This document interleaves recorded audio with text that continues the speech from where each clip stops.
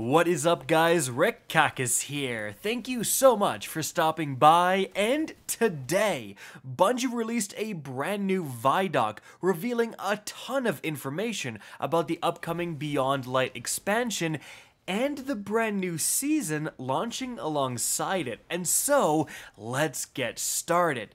Now, First off, let's talk about some new Beyond Light info, and there was some pretty darn juicy stuff revealed today. Mostly, Bungie expanded on some of the stuff we already knew, but threw around some new gameplay, etc. One of the things they talked about is that the destination of Europa is kind of a time capsule. You have this golden age technology, a lot of it built under the surface, that has just been frozen and dormant. And when they talked about, especially under the surface, they showed some really interesting gameplay and I'm talking gameplay from the brand new Deep Stone Crypt raid. As you can see right here, if you look at the amount of Guardians that are being shown, I mean, clearly here, six Guardians. And this is not a PvP setting at all. In fact, in this second little piece of gameplay, we see them very clearly in some sort of, you know, laboratory or something like that. Well, Clovis Bray, again, is this research facility and the Deep Stone Crypt is its kind of main one and the place where they created the Exos. We also see the six Guardians spawning in right here. In fact, I think what we're seeing right here is like the beginning animation to start off the brand new raid, and uh, that's pretty darn exciting. Now, another thing we got to take a look at is some brand new Stasis subclass abilities and upgrades. Remember that with Beyond Light, one of the best features in my opinion is that the subclass layouts are being completely redesigned. No more are you going to simply select a node of perks like an attunement. Instead, you mix and match your abilities and then you have aspects and fragments.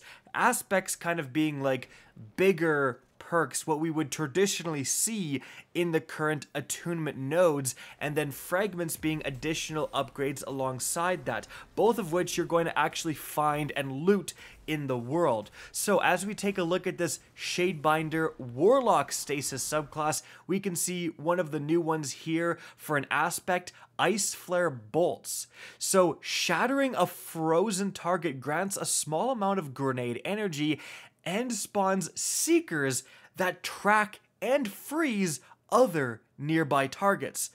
Holy crap, so you freeze one guy, you shatter that enemy, and then you got like stasis Axtian darts going out and seeking out other enemies, freezing them so then you can shatter them and then just continue the chain.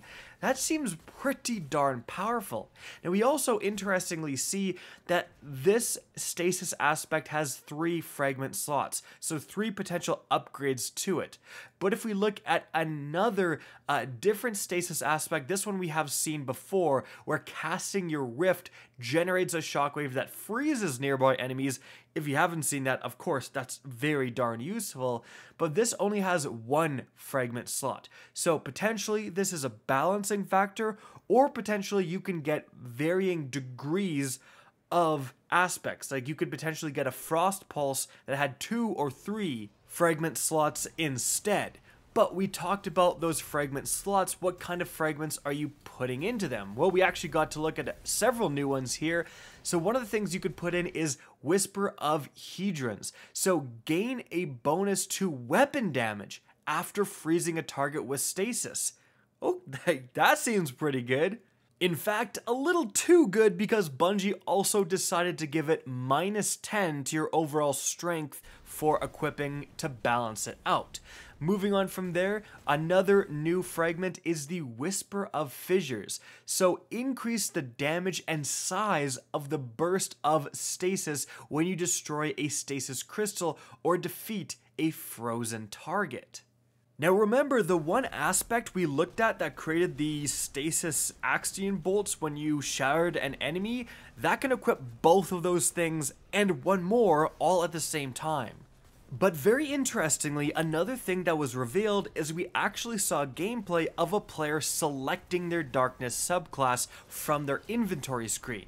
So as you can see right here, this hunter actually goes and selects a special node next to their currently equipped solar gunslinger subclass. So we see that big solar subclass and then we see the little two uh, you know squares off to the side that you would traditionally get to select either arc or void. But then we have that completely different node to the right, and when you hover over it, it says select darkness subclasses.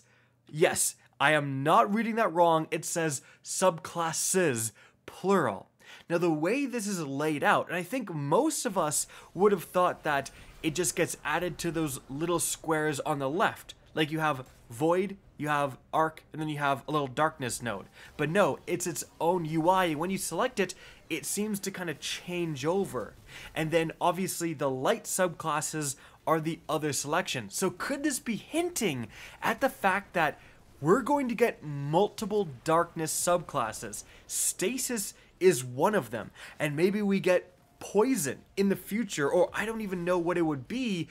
But the way this UI is laid out, that is, and again, the way it says subclasses plural, even though there's only one darkness subclass, that is actually really interesting. But another thing we can see from this inventory screen is if you look at the weapons and the exotic ghost shell, actually, they all have the same symbol, kind of two triangles pointing down. This is actually the seasonal symbol, because if you look over at the armor, that's a totally different symbol, and that symbol is much more associated with Beyond Light.